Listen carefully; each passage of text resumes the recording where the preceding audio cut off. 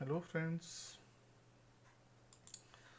Once again I am here just to entertain you by giving puzzles.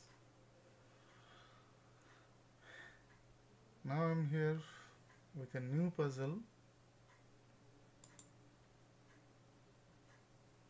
Question is a regular pentagon is given we have to cut into four isosceles triangle and then rearrange to make it as a trapezium. See once again a regular pentagon is given to you cut that regular pentagon into four isosceles triangles to make it is a trapezium.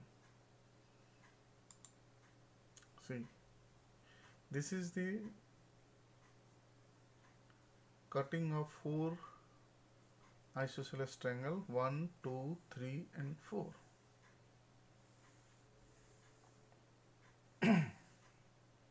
and rearrangement of that is like this. So we will get a trapezium simple. 1 2 3 4 cutting is rearranged like this.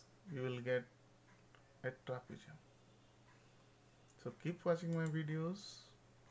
If you like my videos please like share and subscribe my channel.